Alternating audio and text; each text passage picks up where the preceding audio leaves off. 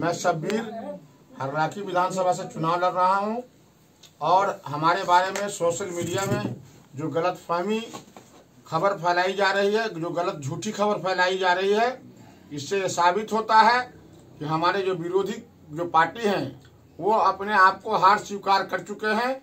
आप लोग किसी गलत फहमी में नहीं पड़िएगा।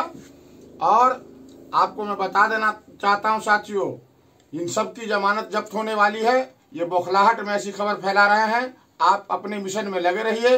हर लाखी को इस बार सुंदर बनाना है, स्वच्छ बनाना है। और इस लड़ाई में जो हम लोग अपने आप को मुहिम चालू किया है, इस मुहिम में हम लोग अपने आप में अड़े रहेंगे।